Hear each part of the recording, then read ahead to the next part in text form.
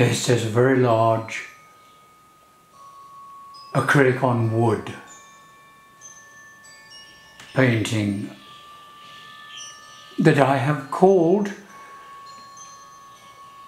Pilgrimage, inspired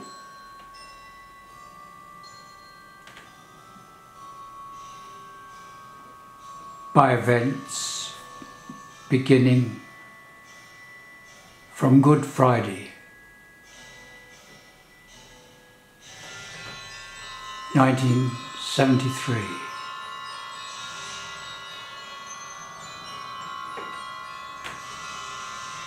On the summit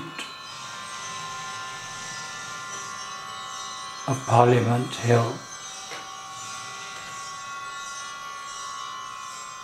and beyond.